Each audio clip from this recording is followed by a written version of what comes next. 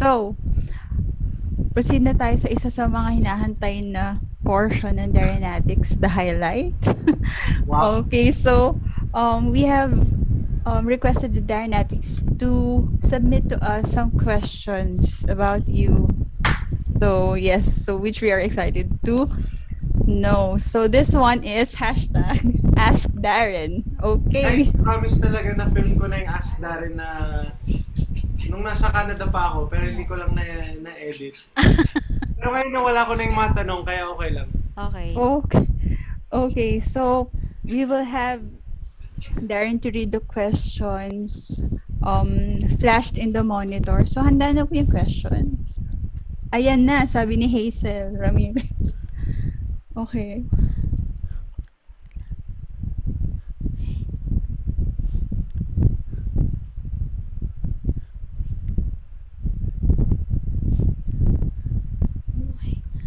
Okay po.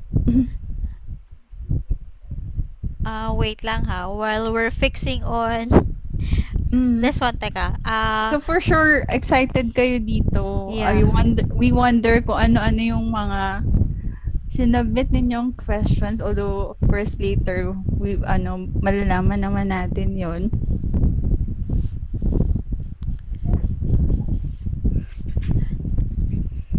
Kailan ang next vlog?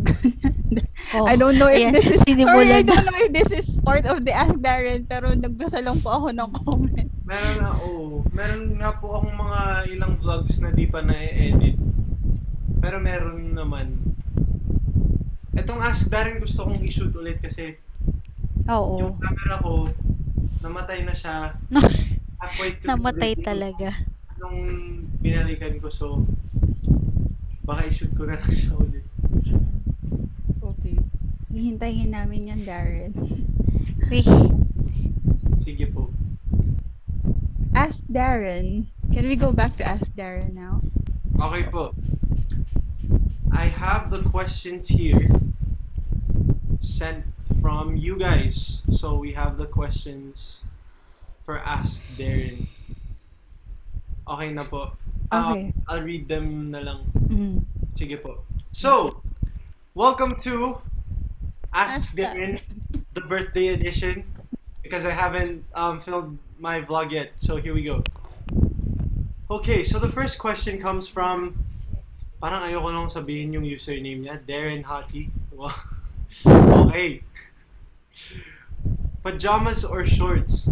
Actually, it really depends because I always wear shorts in the house, but there are times where I feel like it's too cold in my room, so I switch to pajamas. Pero when I'm posting like I want ASAP or Your Face Sounds Familiar online, I just wear shorts even though my my top is formal. So parang both. Pero mas recently na lang kasi ako nagsho-short so sa pajamas na lang ako. Okay. Sabi naman ni Elaine Elaine Civil Dilao, one song to describe the Darenatics.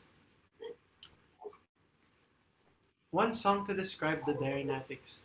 Um, parang yung Count on Me pa rin ni Bruno Mars. Like, even after all of these years, I feel like that song is still what I would use to describe you guys because I can always count on you guys and I, I know you guys can always count on me din sana. So, uh, yeah, Count on Me by Bruno Mars.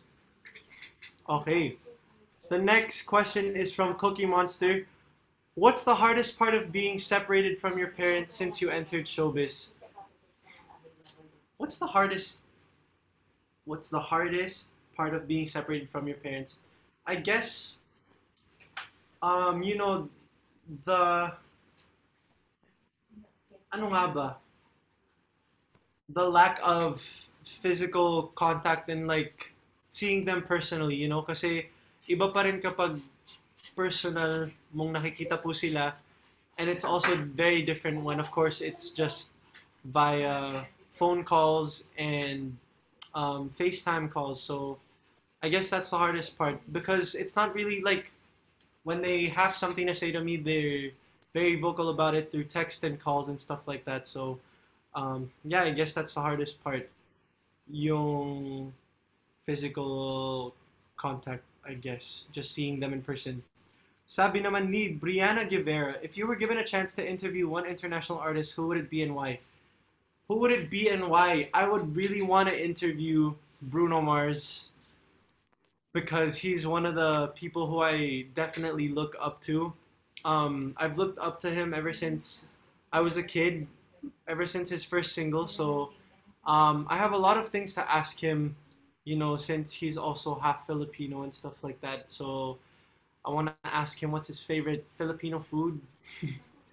and of course, I want to ask him about his musicality, how he creates all of these hits. Um, paano niya naiisip yung mga ganitong kanta na gawin. So, ayun po, Bruno Mars.